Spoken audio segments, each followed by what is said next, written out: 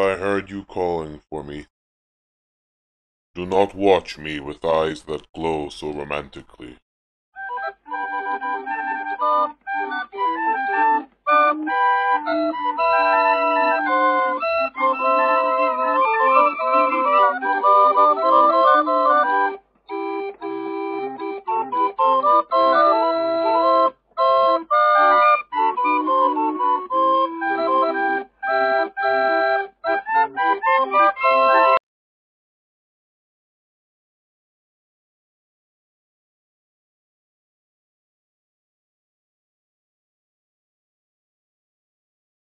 Now, Daddy Longlegs, why are you concerned? You know I'm a good man, and there's nothing really wrong. I have enjoyed a long sleep, but my thoughts are troubled. There was a car accident on the M4 motorway at approximately 35 minutes past 4 in the afternoon. They say she was not wearing her seatbelt. And do you wear a seatbelt, Daddy Longlegs? I always wear a seatbelt. Yes, I know. Can you show me the life that exists around here? Let me see. It might have changed now. I've been asleep for a long time.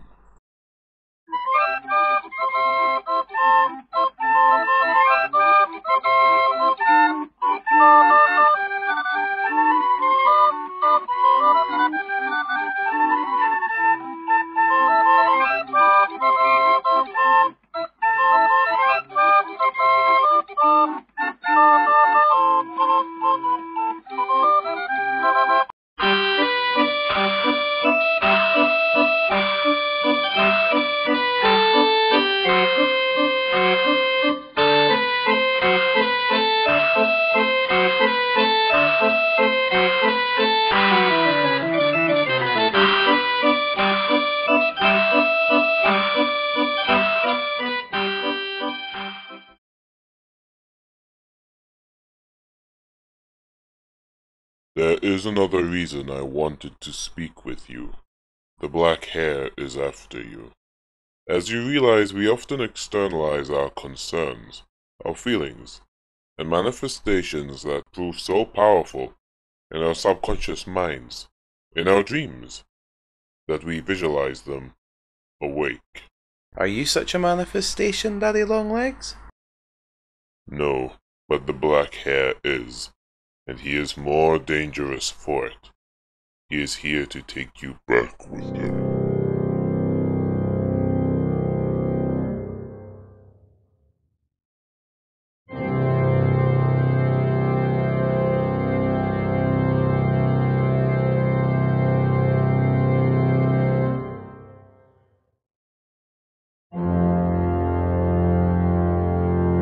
It's still me. I'm just pissed off. It has begun. What? What's fucking begun? The black hare watches. Look ahead.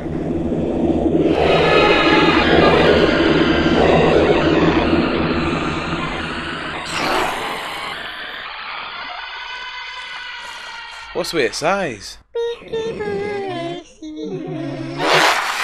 Fuck this.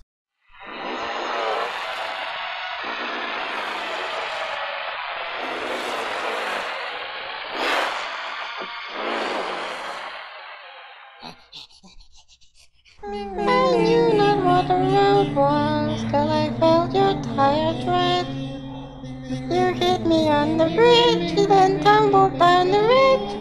Murderer, murderer, murderer. In fire and flame, you mixed my blood with the juice of your wife's head. Murderer. Murderer, murderer. I'm in your head now. There's water inside here. From here I shall whisper unto your dying day. You took from me the right to live, and now she suffers too. For she is in my head, but there's no relief for her. You will have to come with me if you want her to be free. From the Armenian genocide of 1916 to the Holocaust of World War II to the crashing of the Hindenburg, I am quite assured. But it is true, Sam.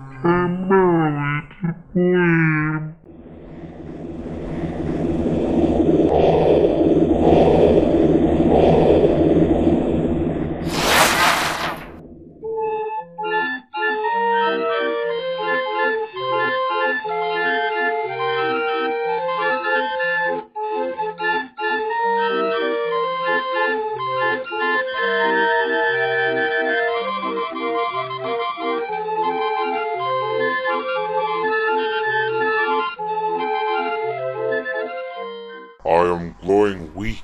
You must try harder to resist. Time to come with me. No, I'm not going. No, I'm not going. She's waiting for you What? to make love to you. She, she is? When I count to five, you will wake in darkness.